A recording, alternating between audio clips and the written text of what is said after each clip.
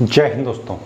I T I P constable driver के दोस्तों physical शुरू हो चुके हैं। ऐसे में दोस्तों आप लोगों का डाउट है कि आप सभी के फ़िज़िकल में क्या क्या होने वाला है। तो इस वीडियो में दोस्तों हम आपको जो है फ़िज़िकल की कंप्लीट जानकारी प्रोवाइड कराने वाले हैं।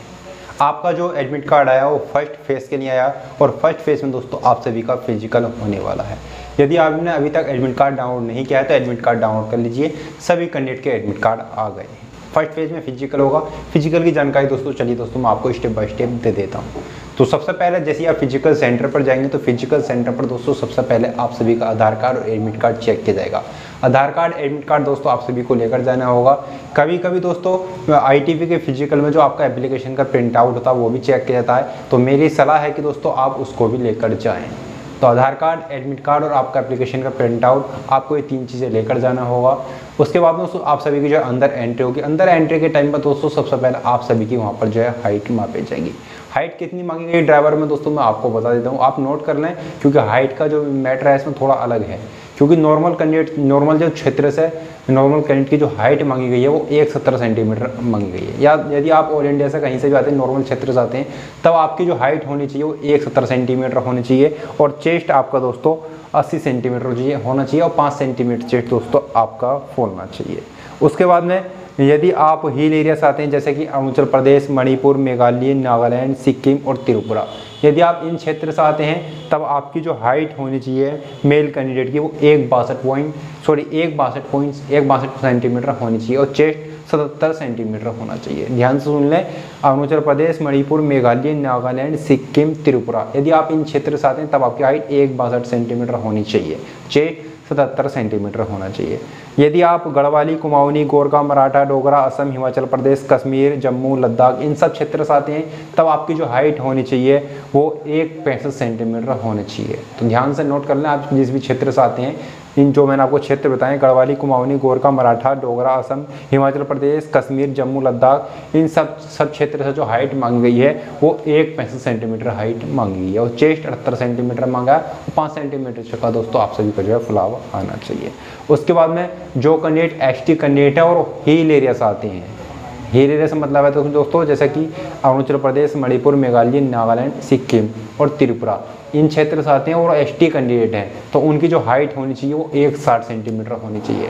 और जो कैंडिडेट नॉर्मल क्षेत्र से आते हैं और एस टी कैंडिडेट हैं, जैसे कि ऑल इंडिया से किसी भी नॉर्मल ज़िले से बिलोंग करते हैं और आप एस टी कैंडिडेट हैं तो आपकी जो हाइट होनी चाहिए वो एक बासठ पॉइंट फाइव सेंटीमीटर होनी चाहिए और चेस्ट आपका छिहत्तर सेंटीमीटर होना चाहिए। ये दोस्तों आपका हाइट का क्राइटेरिया सबसे पहला दोस्तों आपके वहाँ पर हाइट ही मापी जाएगी। उसके बाद में दोस्तों आप सभी की दोस्तों वहाँ पर रनिंग होगी। जो इसमें रनिंग है दोस्तों, वो 1600 मीटर रनिंग है। 1600 मीटर रनिंग के लिए आपको जो टाइमिंग मिलेगी, वो इसमें सात मिनट तीस सेकंड की कंप्लीट टाइमिंग मिलेगी। वहाँ पर चिप बांधी जाती है तो रनिंग का प्रोसेस बहुत आसान रहता है। आप उसको आसानी से क्वालिफाई कर लेंगे। तो सोलह मीटर रनिंग के लिए आपको साढ़े मिनट की टाइमिंग दी जाएगी। उसके बाद में जो कैंडिडेट रनिंग क्वालिफाई करेंगे, उनका जो है हाई जंप और लॉन्ग जंप होगा। 11 फीट का इसमें लॉन्ग जंप है, जिसके लिए आपको तीन चांस दिए जाएँगे। उसके बाद में साढ़े तीन तीन फीट का आपका हाई जंप है। हाई जंप के लिए भी आपको तीन चांस दिए जाएँगे। उसके बाद में जो कैंडिडेट यहाँ पर हाइट में रनिंग में चेस्ट में वेट में, इन सब में पास हो जाएँगे, उनका बायोमेट्रिक होगा। और बायोमेट्रिक होने के बाद में उन सभी कैंडिडेट को जो है फ़िज़िकल सेंटर से क्वालिफाई की स्लिप देकर वापस कर दी जाएगा।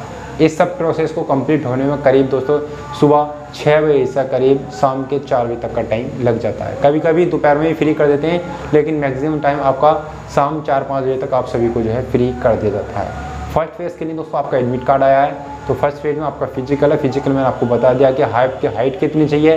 हाइट के साथ साथ दोस्तों आपकी इसमें रनिंग कितनी होगी, आपका चेस्ट कितना चाहिए, आपका वेट का कोई इशू नहीं है। वेट यदि आपको कम या ज़्यादा है तो वेट में फेल नहीं करते हैं। सिर्फ़ आपकी हाइट रनिंग और आपका जो हाई जंप लॉन्ग जंप ये दोस्तों आप सभी का ज़रूरी है।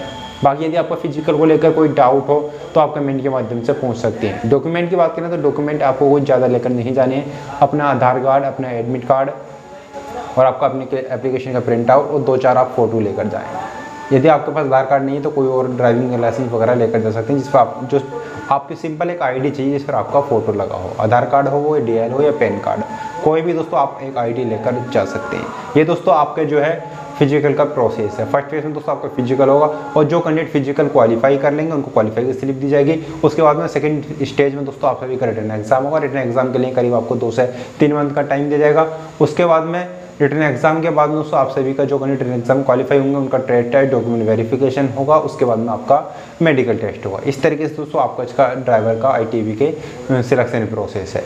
यदि आपको कोई डाउट तो कमेंट कर सकते हैं। आपके रिटर्न एग्ज़ाम की तैयारी दोस्तों हम अपने एप्लीकेशन पर कराएँगे तो आप हमारे एप्लीकेशन को डाउनलोड कर सकते हैं। एप्लीकेशन आपको हमारे प्ले स्टोर पर मिल जाएगा, या आपको इस वीडियो के डिस्क्रिप्शन से लिंक मिल जाएगा, वहाँ से जाकर दोस्तों आप हमारे ऐप को डाउनलोड कर सकते हैं। साथ ही आप हमारे टेलीग्राम को भी ज्वाइन कर सकते हैं, और लगातार जानकारी पाने के लिए चैनल को सब्सक्राइब करें। चलिए दोस्तों, मिलते हैं नेक्स्ट वीडियो में। इस वीडियो में इतना ही। जय हिंद, जय भारत।